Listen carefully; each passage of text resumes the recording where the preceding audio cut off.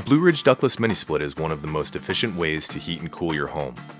They're a perfect choice for additions, garages, or rooms where ductwork isn't available. Mini splits are energy efficient, quiet, and easy to install. The mini split is comprised of two units, the indoor air handler and the outdoor condenser. The components are connected by copper tubing, which allows the necessary refrigerant to circulate. A handheld remote gives you thermostatic control over the system. Before you begin installation, make sure you have all the parts you need according to the installation manual. Inspect the various components to ensure there are no defects before installation work begins. You can complete the majority of the installation yourself, however, the last 10% of the work should be completed by a trained professional. Proper installation is crucial to achieving maximum performance and energy savings the unit can produce. It's essential to carefully read the Blueridge Owner's Manual, paying particular attention to safety precautions and procedures before you start. Ensure you have the right tools for the job. Standard tools needed include the following adjustable wrench, torque wrench, hex keys or Allen wrenches, a drill and drill bits, a hole saw, a utility knife, a wire cutter and stripper, Phillips and flat blade screwdrivers, a level, safety glasses, and work gloves. Your professional installer should bring the rest of the required tools including manifold gauges, vacuum pump, flaring tool, and a dry nitrogen tank with regulator. To begin installation, choose a spot on the wall surface where you'd like the unit to be secured. Location should be free of obstructions near the air inlet and outlet and should be at least 6 feet from the floor. Refer to the manual for more tips on choosing a location. Remove the wall bracket from the back of the mini split indoor air handler. Hold the bracket in place, use a level to ensure it is horizontally level, then mark the screw holes with a pencil. Drill the marked holes to create a pilot hole and use appropriate sized self-tapping screws with anchors to affix the wall mounting frame. Finally, check to ensure the wall mounting frame is firmly attached by pulling on it. Now you will create a hole in the wall to allow refrigerant lines, control wires, and condensation drain tube to go outside. The hole is usually 2.5 to 3 inches. Using a hole saw bit, drill the hole, making sure to angle downward to the outside for proper condensate drainage. The wall-mounted air handler ships with the refrigerant piping on the right and the drain tube on the left, but can be configured to your particular application. In this case, we will move the condensate drain tube from the left to the right. This requires removing the outer cover of the air handler. Open the service hatch and remove the four screws across the front and the fifth screw in the center bottom. Turn the unit over and release the four locking tabs. Carefully lift off the cover and turn the unit over to expose the drain connection. Unfasten the retaining clip for the drain hose and remove the drain hose.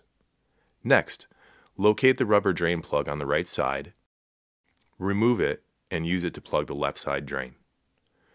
Replace the hose on the right side drain and fasten the retaining clip.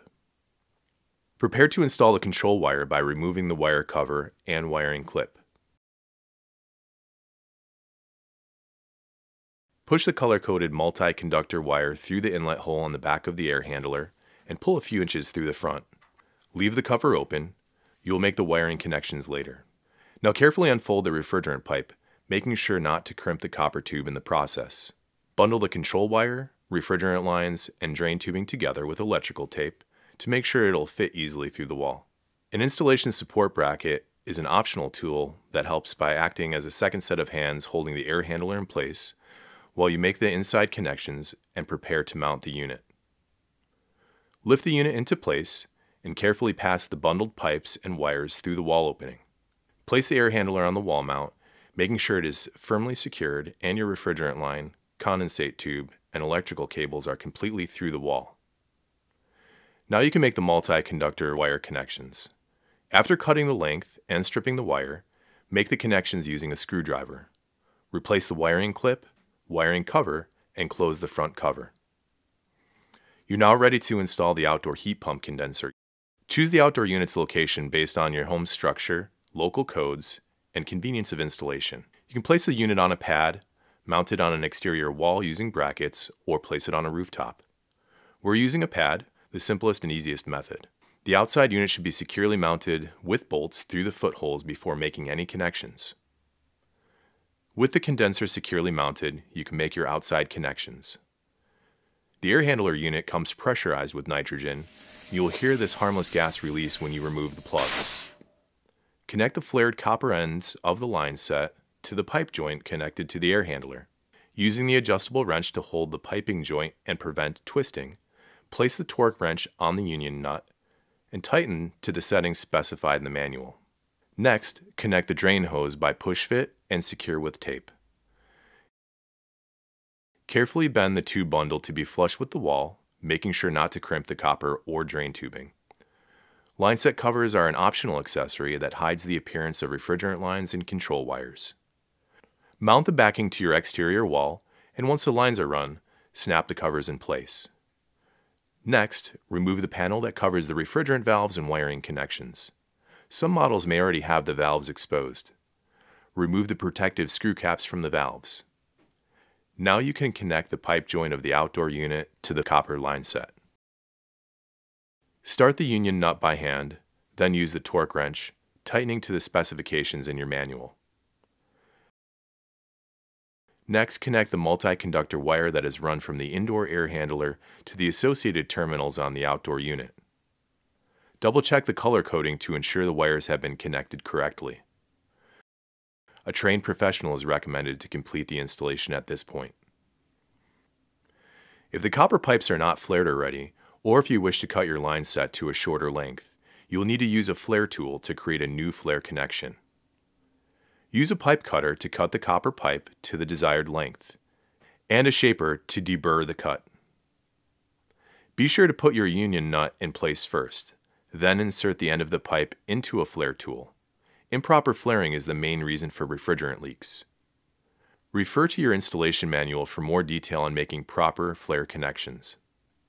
Make sure the flare connection is not tilted, cracked, or otherwise damaged before connecting. The refrigerant system must be completely sealed in order for the system to perform properly. Start with a pressure test to check for leaks. Using a yellow jacket adapter will allow you to connect standard service equipment to the mini split service ports. Use dry nitrogen and pressurize the line set and air handler to 100 to 200 psig. Then, using a soap bubble solution, spray down all of the flare joints and watch for bubbles to appear. If bubbles are present, tighten the union nut or, if necessary, reflare the copper. Next, the technician will use a vacuum pump and gauges to remove all air and moisture prior to releasing refrigerant into the lines.